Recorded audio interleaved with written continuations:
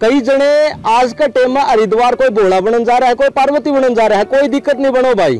लेकिन कई लोग उसका रूप धर के भोला का रूप धर के कोई बांग पीवा है, कोई बीड़ी पीवा है, कोई ओका पीवा है, सारे मतलब भोला ने ये चीज़ पियान दे दिखावा है।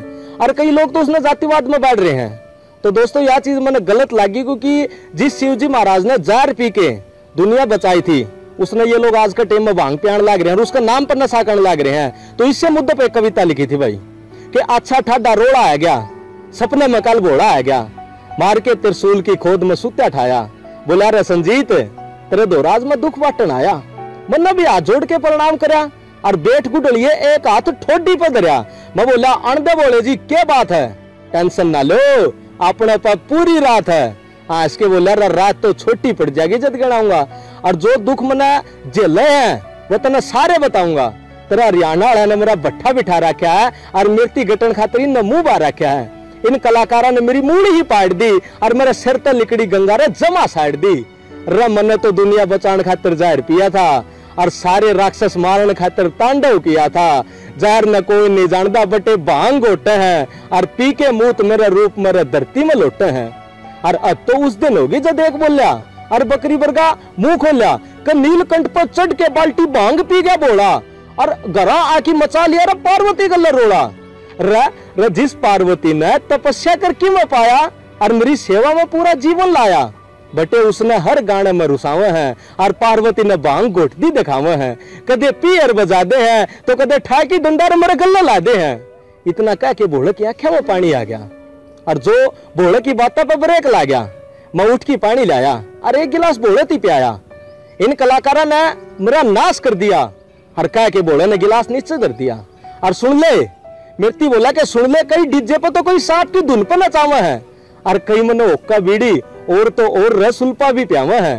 और जो दो दो हज़ार की पार्वती लेके हरिद्वार जावा है, ये राक्षस है सारे, जो खुद न भगत बतावा है। अरे तीस रुपया के नकली बाढ़ लाकी नकली त्रिशूल ठाकी, अरे मुँह का गोबर लपेट की। और ओठ खून में थपेड़ की अरे सारे नंगा नाचे हैं। और मेरे नाम तो छोरिया के आगे माचे हैं। ये मेरे नाम तो छोरिया के आगे माचे हैं। और सुन, तेरे हरियाणा में सौ डेढ़ सौ ईब कभी जा रहे हैं, जो हरिद्वार में भोला पार्वती बने ना रहे हैं। और दुख तो इस बात का है जो स्टेज पर नंगा नाच दिखावा है। ये सारे स्वाद का चक्कर में उनने न पार्वती बनावा है। रजना खड़ा मेरा रूप धर ले है। और हैरान हूँ, मैं तो हर कोई रोल कर ले है। और जो ये भगत कुआ की कावड़ ठावे है। गल्ला भाँग सुल्पा कट्ठी करके लावे है। और इस तक काम नहीं चलता रहे।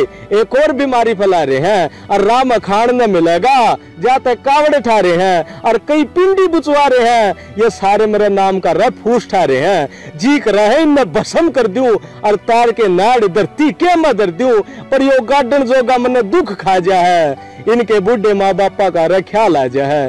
ठीक है, गोबर खावे है खान दो। मेरे नाम का कलंक लाड़ दो। पर थम भी इनकी बातों के मज़े लो और गलत कामा के पीछे दो चल यार, तन और के के बताऊँ? और शर्म आवे मैंने जब मैं सारी बात गिनाऊं इब मैंने सच्ची बताऊँ, रे शर्म आवे जब सारी बात गिनाऊं मैंने हाथ जोड़ के कहा कि भोलेनाथ जी, आपने बहुत दुख सया। पर इनका समाधान बताओ और इन कलाकारों पर रोक लाओ।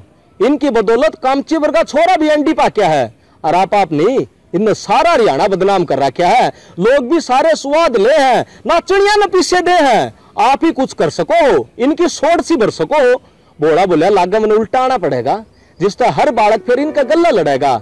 लाता के भूत बाता तना मान दे थाम्बी या बात अपना लो। और जो जो हरियाणा ने बदनाम कर रहे हैं, उन खातर लठ ठा लो। अच्छा ही चालू हो घना टेम हो जाएगा। और गणेश मेरे बिना भूखा सो जाएगा। पार्वती जी, इन नकली पार्वतियाँ न देख के ठीक ना है। और बालक क्या सोचेंगे? आखिर वह भी तो एक माँ है।